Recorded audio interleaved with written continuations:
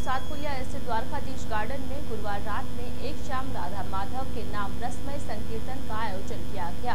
संकीर्तन के दौरान शामलीन भजन गायक विनोद अग्रवाल के शिष्ट मुजफ्फरनगर निवासी रवीश मिश्रा तथा अयोध्या के राजू सोनी ने सूफी अंदाज में भगवान श्री कृष्ण तथा राधा रानी के भजनों की प्रस्तुतियाँ दी। गणेश वंदना के साथ शुरू हुए रसमय संकीर्तन। कुमार ने स्वर्गीय अग्रवाल के अंदाज में भजनों की प्रस्तुतियाँ देकर उपस्थित श्रोताओं को झूमने के लिए मजबूर कर दिया। इस दौरान रविश मिश्रा ने, आओ गोपाल, तरस रहे नेना तथा देर भई, अब आजा रे सावरिया सहित अन्य भजनों की प्रस्तुतियाँ देकर संकीर्तन में समा बाँध दिया। इस दौरान हूबहू शामलीन विनोद अग्रवाल की आवाज़ में उन्हीं की शैली में गाये भजनों पर श्रोता अपने आंसुओं को रोक नहीं पाए।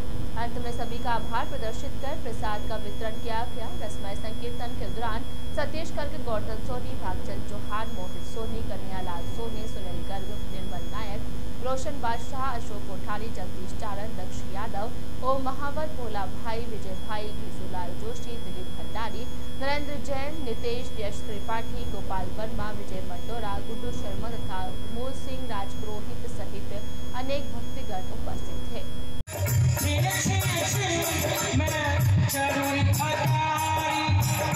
आए।